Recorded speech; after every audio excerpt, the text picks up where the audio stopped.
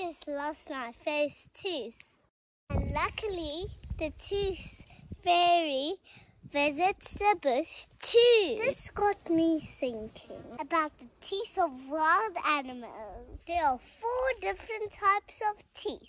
Incisors are the front teeth. The biggest teeth that you find out here belong to the African elephant, and they are the tusks, which are actually upper incisor teeth. Other animals that have tusks are warthogs or hippo like this.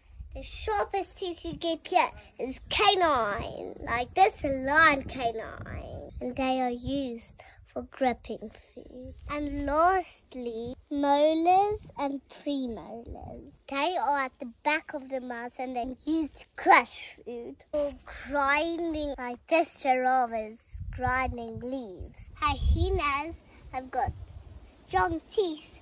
that can even crush bones.